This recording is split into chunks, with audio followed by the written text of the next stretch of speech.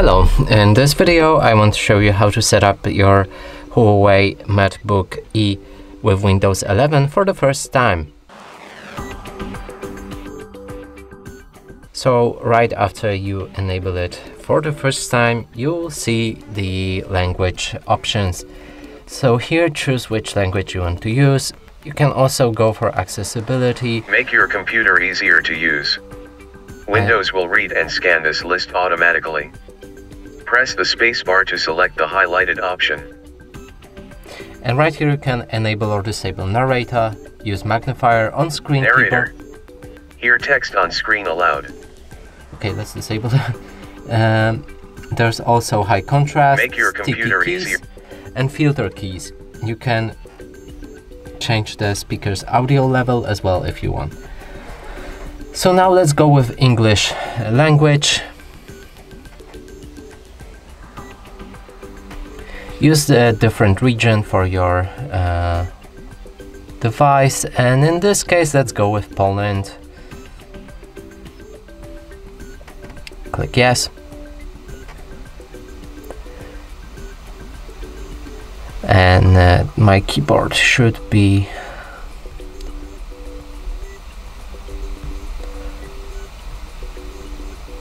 Polish. And want to add a second keyboard layout? Nope, let's skip that.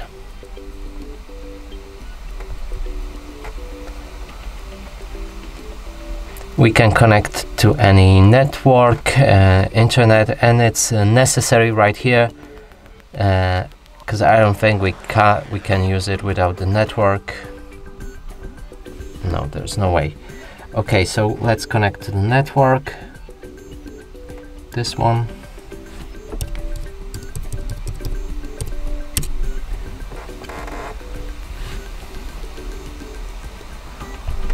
proceed it will check for any updates for your Windows.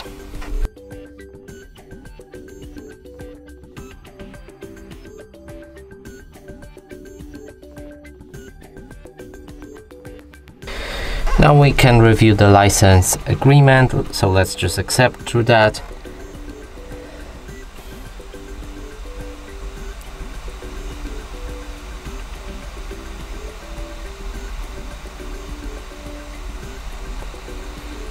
Sign in or create new Windows account and let's try to skip it but I don't think there's actually a way to do that.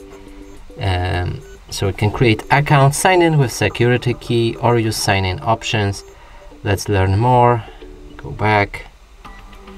Yeah we need to log in so I'm gonna try. Probably I will cut this video uh, because uh, you can't see my information but okay. After you're logged in you'll be able to set up the fingerprint for your MateBook but I'm gonna skip it for now. Create the pin and that's necessary so let's do that. Uh, you can't use the simple one as I already tried. So uh, let's go with 1212 1212 and click on OK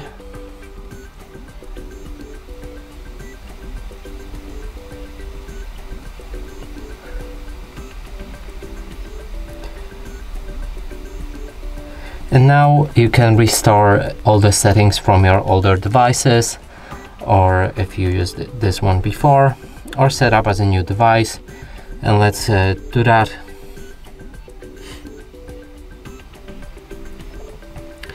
Let Microsoft and apps use your location. I'm gonna accept. Find my device yes. Include optional required only. Let's go with required only improve inking and typing. No. No. No. Skip.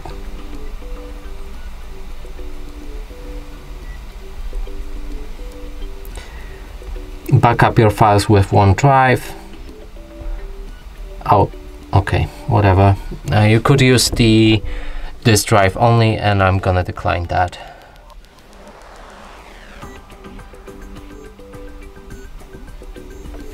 Now it will check for updates again.